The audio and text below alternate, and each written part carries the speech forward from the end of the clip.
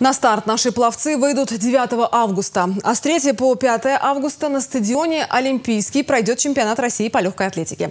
По итогам соревнований будут определены те, кто отправится представлять страну на мировое первенство. Программа чемпионата ожидается насыщенная. В течение трех дней легкоатлеты с утра и до самого вечера будут бороться за место на пьедестале, которое даст возможность отправиться на чемпионат мира в Пекин. Правда, ряд спортсменов по решению тренерского совета получили освобождение от соревнований. Но, несмотря на это, они изъявили желание выступить в Чебоксарах. Среди них Екатерина Конева, Мария Кучина, Даниил Цыплаков и другие.